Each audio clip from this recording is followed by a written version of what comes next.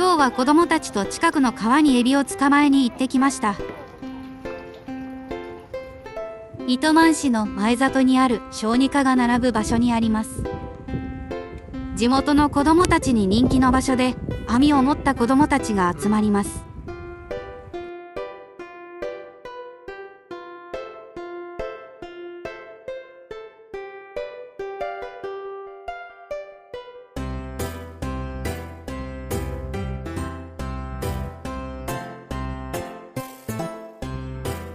なかなか簡単には取れませんね。苦戦してます。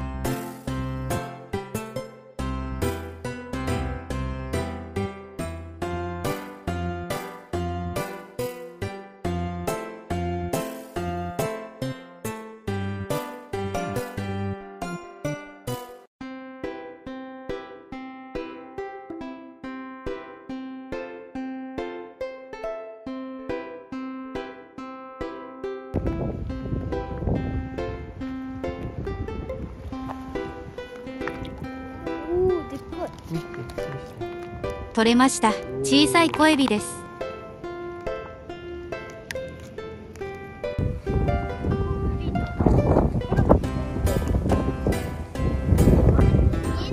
また取れました。コツをつかむと簡単のようです。お2匹だ。お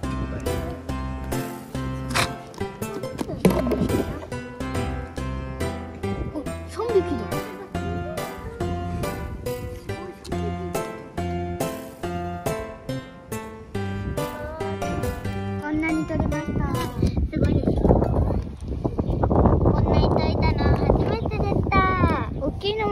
ました。